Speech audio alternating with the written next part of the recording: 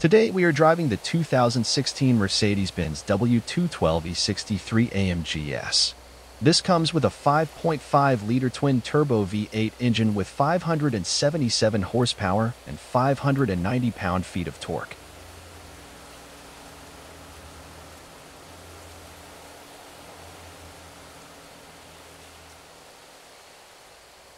Great looking car inside and out. I'll show you the interior and go for a drive.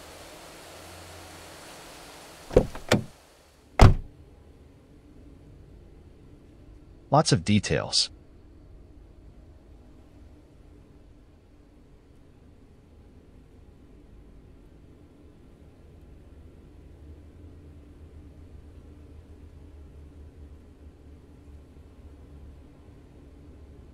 Infotainment display, then a nice clock below that.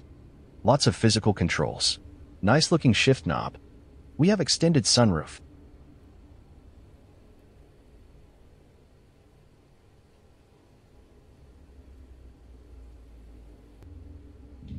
Mm-hmm.